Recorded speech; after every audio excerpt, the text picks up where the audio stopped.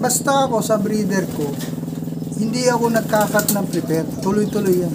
Kahit off-season, maski siya hindi gagamitin, tuloy-tuloy pa rin yung maintenance dyan. Para once na isalpak mo siya, super healthy na talaga yung mga ano nila, anak nila. Kung ano yung gagamitin ko sa kanila sa derby, pinatitikim ko na yun. Kapatids, papakita sa atin yung gamit ni Sir Luigi oh. Ito talaga. Good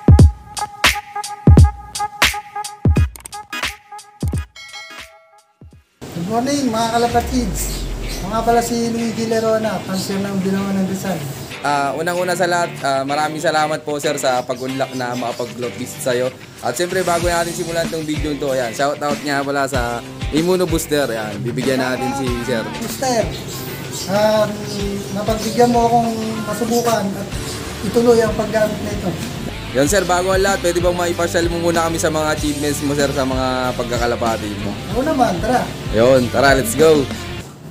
Ang achievement ko. Ang dami mga kalapatid First so. overall, third overall, first overall, first overall, third, second, second, ah first overall din. Basta lahat ng nasa harap niya, first overall yan. Itong hanggang dito. Tapos third, sunod-sunod na yan. Na nga sa likod, lap winner lang yan. Ah, nasa likod lang na po yun. Oo, yung mga lap winner, hindi. Kasi ito yung sa national natin, mga karton. Kasi ito yung mga bago. Yan. Ito mga kalapad. Sa awa ng Diyos, may kapatid na itong aming plaque sa NHPC. Ito. Salamat, Sir Normante. Sa magandang palaro. May kapatid na itong plaque namin na makukuha kami. Ang daming ano, trophy na ni Sir Luigi. Bali, at ilang taon ka na sir na nagkakalapati? Nagsimula ako 2006. Kaya medyo mahaba na rin ang experience natin sa pangangarera. Tapos sir, kamusta po yung unang sabak mo sa karera? Eh, nung una talaga, eh, medyo nangangapa talaga dahil sa pag-aaral. Dahil ang hawak ating bloodline eh, okay naman, nasa tama, ito ang kauna-una ko kagad achievement. Ito mga. Yan. So, anong bloodline yan sir, yung unang achievements mo? Ito na yung cross ko nung ginawa ko noon, dun ito nabuo. Kaya tinuloy-tuloy ko siya kasi nakakuha ka agad siya ng trophy. Nung cross na yun, nag-anak agad, nakakuha ka agad ng isang achievement na trophy na lap winner. Sabi ko, ito na yun. Ito na yung magdadala sa akin ng tagumpay lang. Kaya ayan, ito mga anak niya, mga kapatid. Nagtuloy-tuloy na sir. Oo, ayan. Mga kapatid na yan, yung ano yan. Lahat yan, isa na yan. Oh, ito mga kalapatid. So, isang mga bloodline lang yung mga nagbigay karangalan kay Sir Luigi. Tapos sir, yung mga ibon mo na pangmalakasan na breeder, yung nga nandyan pa. Yung talagang matatanda, wala na talaga. Yung kaya ko napapanatili yung sa akin, nag-i-include kasi ako. Alam naman ng marami yun, yung ganun kung paano.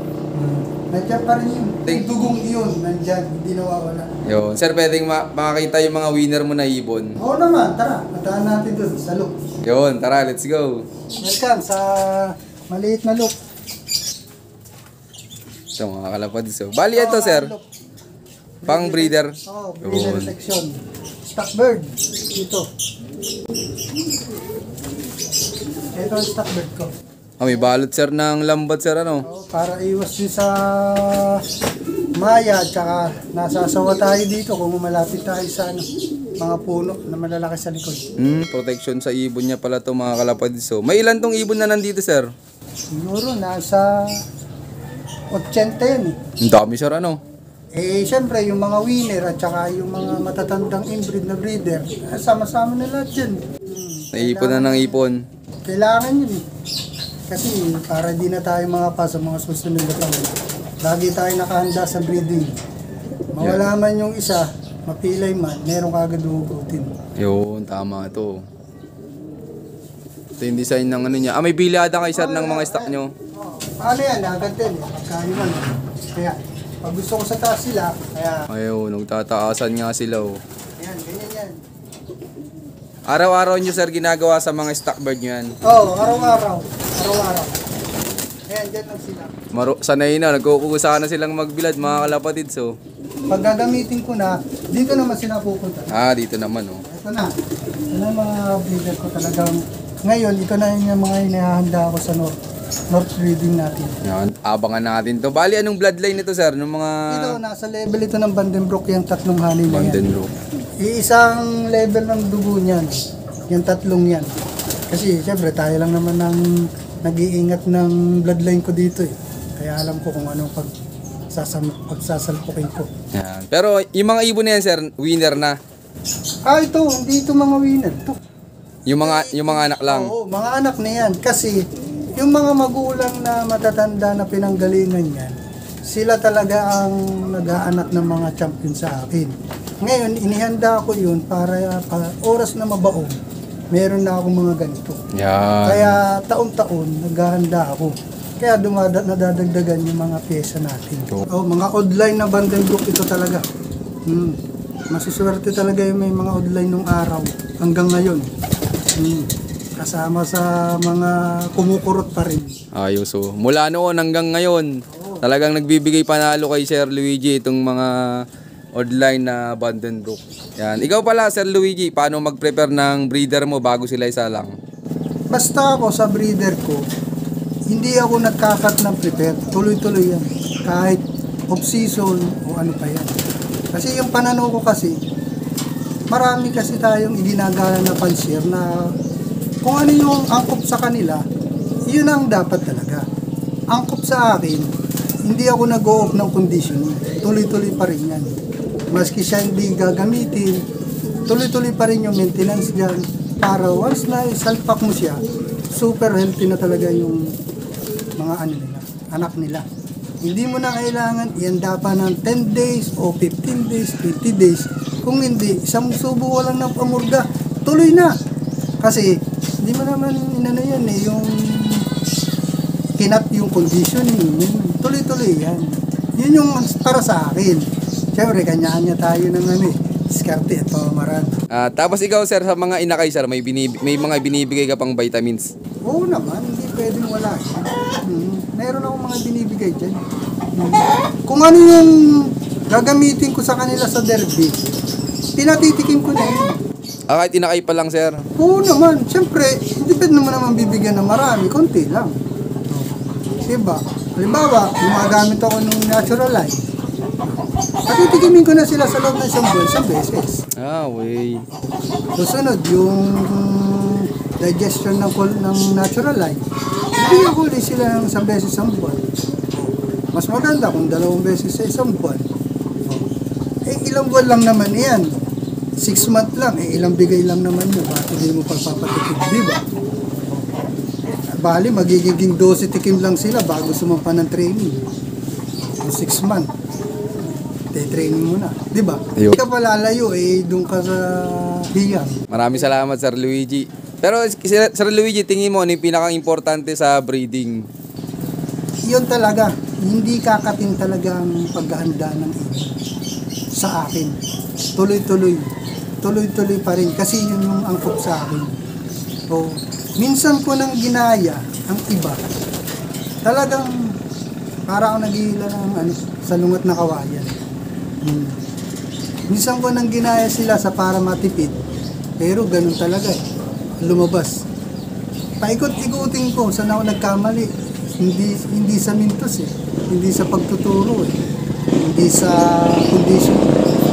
Ramdam ko doon. Doon talaga. Nung ginaya ko sila. O sa sistema ng pag-aanda sa breeding. Hmm. Kasi wala na eh. Lahat naman. Nagbigay ko lahat. Pero naghihila talaga ako ng salungat na kawayan para manalo. Oo ng nga, mga no. time na yun. Sa dami, Sir, ng ibon mo, Sir, ilang pair yung ginagawa mo kada season? Bali, lima. Lima. Ganun, lima. Iba yung ginagamit ko ng para sa North, iba yung ginagamit ko ng para sa South. Yun ang advantage na, Sir, ng maraming breeder, Sir, ano? Oo, kasi magkakapatid kasi sila eh. Yung nestmate, ma- dalawang nestmate lang, ano na, dalawang pares. Apat na kagad yun. Oh, eh, tatlo, dal, tatlong ano ka lang, nestmate, nestmate. Buo na kagad ng team mo eh. Di- Tapos, sunod na tao, sa sunod na breed, yung kabila naman, yung mga ka, ka-level naman nilang ginawa ko, na iniipong kong breeder, sila naman. Kaya ang mga ibon natin, hindi masyadong laspag. Hanggang first clutch lang sila, Sir. Oo, first at saka second. Pag naghahabon, pwedeng mag-second. Tsaka yun nga kagandahan, hindi nalalasπag agad yung ibon sir ano. Oo, hindi. hindi. Tsaka kahit may edad ng ibon, kala mo mga batang-bata pa. Yung mga itsura nila. May na-experience ka na sir na ano, na nawala na si Milya yung ibon niya sir. Ah, marami na. May ilang years ang ano, bago nawalan. Nine. Sigurado ko nine, wala na. Pero yung five years pataas, hindi na mag-aanak sa akin ng yung, yung sabay na sabay ang pisa. Yun ang napansin ko sa akin. Pagka nag-6-6, hindi na sila yung, halimbawa ngayon, yung track nila. Sabay kasi, pag umaga, ngayon tangali, pisa na yung umaga, mamayang tangali naman yung isa. Ganon kadalasan yung nangyayari na sa 5 years pataas. Pero pag yung ma- medyo bata pa sir, mga 2 Ayun, years. sabay na sabay yun. Sabay na sabay. Ganun yung mga napapansin ko sa akin. Pero yung wala namang problema yun, maski magkaiwalay, nananalo pa rin. Oo nga naman. Pero yung 9 years, 10 years na nagsisimilya, stock bird na lang ang anak nun. Kasi sinubukan ko ng ilipad dito sa akin, eh nahihirapan na umuwi. Siguro kung may edad na. Pero marami naman breeder na magagaling kahit nasa 10 years na, naghahanap pa rin ng champion. Hindi. Pero sa akin, Luke, yun ang pansin ko. Pag umabot na siya ng 9, eh, ano na siya, nahihirapan na. Yung, siguro kung ano na, abot na yung limit. Hmm, galing. Yun. Yun, maraming salamat Sir Luigi. Pero Sir Luigi, ikaw po, ano mabibigay mong payo sa mga viewers natin dyan na pipili nung gagawin nilang breeder? Eh, mas maganda, titingin ka muna talaga doon sa sinasabi ng iba na sa mata ka muna titingin. Sabi nga ng ating mga mentor dyan, mga idol natin na matatagal, talaga sa mata ka talaga titingin muna. Oo. Sang mata, Sir? Sa mata ng kalapati at sa mata ng may-ari. Dead joke lang yun sa kalapati ha. Baka, siyempre, ginagalang natin ang bawat isa. Yun, maraming salamat Sir Luigi. Ikaw po pala Sir Luigi, pagdating sa patuka sa mga breeder, may may mix ka ba ng patuka Sir? Wala na. Kung ano yung nabibili dito sa amin, yun na. Pero nagbibigay Sir ng pellet. Yun ang hindi. Hindi. Hindi ako nagbibigay ng pwede. Yan ang medyo ano ko dyan. Hindi ako nagbibigay. Pag sa breeding po. Mm. Kasi ang breeding kasi, lalo sa inakay, pag ang ipinaya, sinusu, sinusubuan naman yan ng pigeon meat. Kapag ang inakay ay hindi na pigeon meat at tukana, pansinin mo ang ibon na uh, YB. Di ba? Flyer mix na. Nandun na. Pag yan ay natutunaw niya na yung maganda yan, ibig sabihin, digestion niya, inakay pa lang. Solid na Oh, okay. doon pa lang, wala ka nang hinahanap na mahina ang digestion niya. Dahil ang isinusubo na doon, mga puro solid na. Mhm. Doon pa lang, sa inaraw-araw, yun ang ililipat. Pagkatapos ng pigeon meat, yun ang tatanggapin ng inakay. Yung mga mais, kung ano-ano.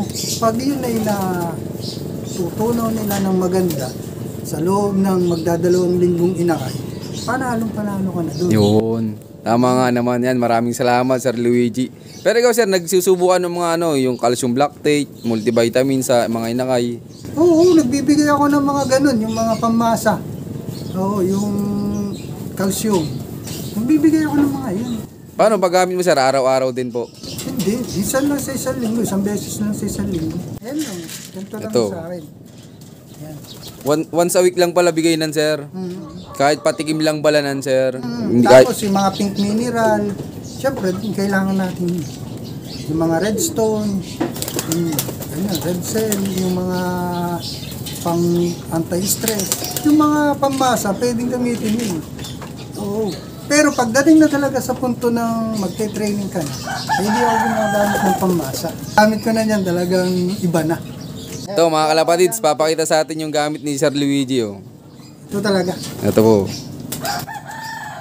Yan ay pang ano niya sir, pang matindihan yung gamit sa ibon. Oo, pinatitikin ko talaga ang ibon ko nito sa loob ng isang buwan. Isang... Ah, isang buwan, isang beses lang po. Oo. Lahat yun halo sa tubig yun. Yan. Sa mga gustong sumubok, pwede din naman subu- subukan. Kita niyo kita niyo naman yung mga achievements ni Sir Luigi pagdating sa pagkakakarera.